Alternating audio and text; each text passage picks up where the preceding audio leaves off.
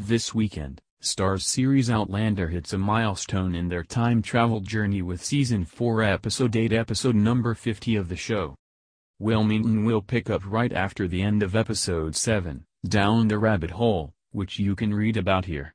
It's a pretty safe bet, judging from the released promo photos from the episode, that things work out for Roger, Richard Rankin, and Brianna, Sophie Skelton, on their respective journeys to the Americas, as there is a reunion. We also see Jamie, Sam Heughan, and Claire, Caitriona Balfe, in the roles of Granda and Granny, with who we assume is Fergus, César Domboy, and Marsali's, Lauren Lyle, firstborn child. In the book, this would be Germain, but it could very well be Joni in the show. Oh, hello again Governor Tryon, Tim Downie, we guess it's nice to see you again. Oh and your lovely wife Margaret, Melanie Gray, is with you, too.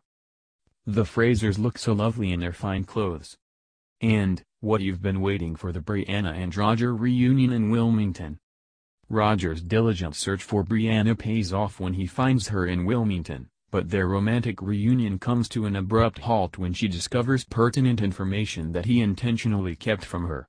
Meanwhile, Jamie and Claire attend the theater with Governor Tryon, at his request, and discover a plot against the regulators that tests Jamie's loyalty to Tryon. Hooray for all things Outlander! There shall be no more Droughtlanders, by royal decree. Well, by the Starz Network's decree, they don't want fans to suffer ever again, which is why they started filming the fourth season of the show pretty much back to back with the third season, and now it's underway on Amazon Prime Video UK.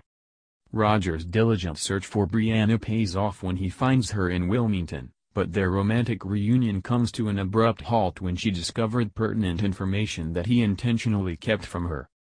Dinna Fash, Sassenach. There'll be a lot more Outlander news, as it happens.